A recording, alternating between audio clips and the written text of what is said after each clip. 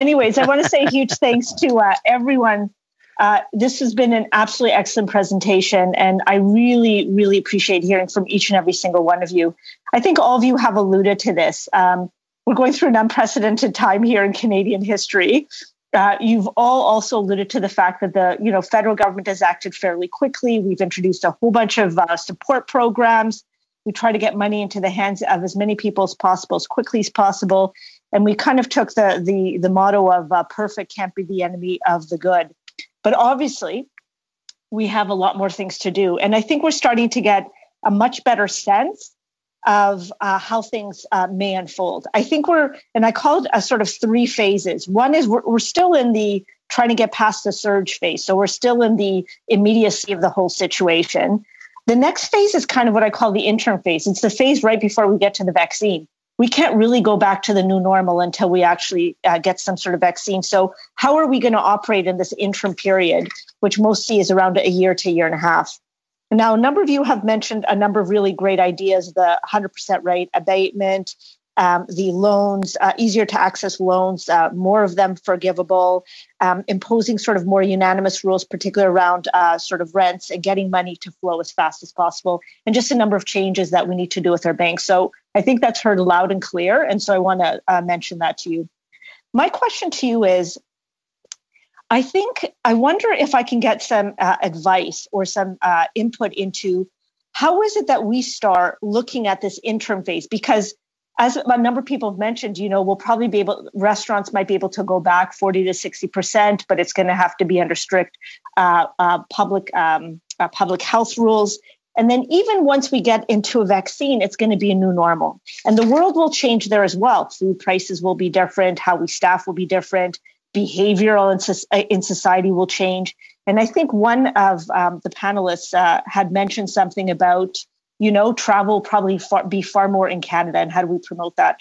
So my question to you is because I'm trying to figure out how, you know, we're trying to sort of get to the immediacy. So you've made some great recommendations. Now I'm trying to say, how is it that we get through the next phase? What's the group of people? Do we need to form a panel committee? Do we need to have the developers come, the back, the bank, uh, the bankers come together? Do we need to bring uh, the re- all the restaurants together, federal, provincial governments, like who's the right grouping of people that will help to sort of uh, set a plan for what happens over the the sort of interim period, and then how is it that we can craft some sort of a new plan moving forward once we have a vaccine in place. So I'm not sure who wants to take that. I'd love to hear from someone from the restaurant, someone from the hotel industry, maybe someone from tourism. But if uh, someone wants to maybe take that. Okay, we'll start with uh, Mr. Oliver, and then if somebody else wants to raise their hand, we'll go to them. Mr. Oliver and Mr. Yeah, Lefebvre next. Go ahead. Yeah, just quickly, I, th- I, think, you know, you guys have done a lot in the last 40, 45 days. And I, I think now getting into that very industry specific uh, part to save the capital that we have, that you guys have to dole out is super important.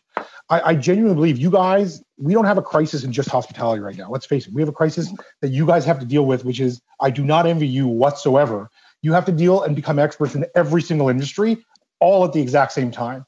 Uh, I do not think that is is feasible for you to do, to do it in a timely manner. And my recommendation to you, as far as how we do this, whether it be in the short term and in the ending of the short term right now to the medium to the long term, is to bring in operators and, and groups like the guys you're talking to here and set up specific committees to say, how do we talk to actual industry experts as opposed to making assumptions of what what might be needed for specific industries um, so that you can go from the broad-based approach that we're looking at right now and actually getting sector specific to look at what is actually going to be needed until we either find a cure or, or a vaccine at the end of the day. I think i think is going to be paramount to the success of any plan.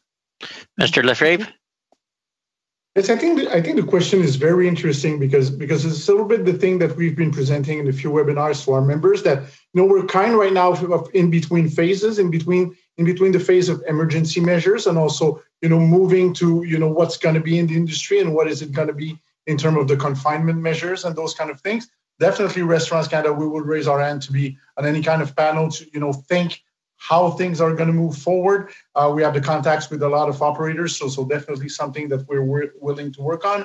Uh, and we've also started, I would say, second week of March, even before most of the restaurants were closed or forced closed, uh, to, to think what the situation would be, because it's going to be one thing to be able to reopen and to have some kind of social distancing. It's going to be another thing to build back the consumer confidence. And those two different things might require different kind of, of, of involvement from governments, but also from the industry. So, so much the better if we can work it together. Okay, uh, Julie, time for one quick one, just because I near stole your time. Go ahead.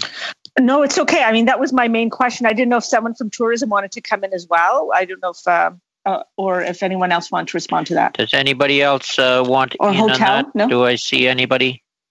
I don't yell if you are. I can't see everybody. Okay, then we'll go I think on. We're good.